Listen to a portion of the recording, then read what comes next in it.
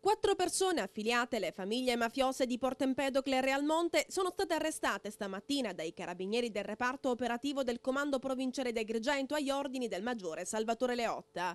A seguito di una lunga attività investigativa che ha avuto inizio nel luglio del 2007 e durata circa due anni, ha consentito di fare luce su una serie di estorsioni ai danni di imprenditori della zona.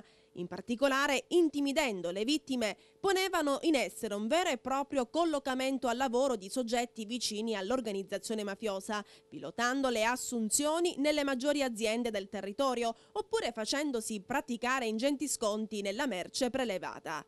Ad emettere la misura cautelare il GIP del Tribunale di Palermo, dottor Sestito, su richiesta della DDA di Palermo, dottor Teresi e dottoressa Fulantelli. A finire manette, nell'operazione denominata DNA, Filippo Focoso, nato in Germania nel dicembre del 1970, residente a Realmonte. Domenico Seddio, inteso Nico, 38enne, nato ad Agrigento ma residente a Portempedocle. Francesco Luparello, nato ad Agrigento nell'agosto del 1974 e residente a Realmonte. Ed infine Salvatore Romeo, empedoclino, 52enne.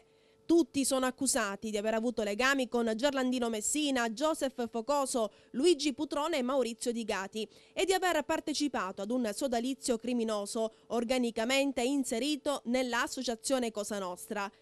I singoli associati hanno disponibilità di armi per il conseguimento delle finalità dell'associazione stessa e si avvalgono della forza di intimidazione del vincolo associativo e della condizione di assoggettamento e di omertà da esso derivante per commettere delitti quali omicidi, traffico di sostanze stupefacenti, incendi, danneggiamenti, estorsioni e furti, nonché per acquisire il controllo di attività economiche, di concessioni, di autorizzazioni, di appalti e servizi pubblici e per realizzare vantaggi e profitti ingiusti.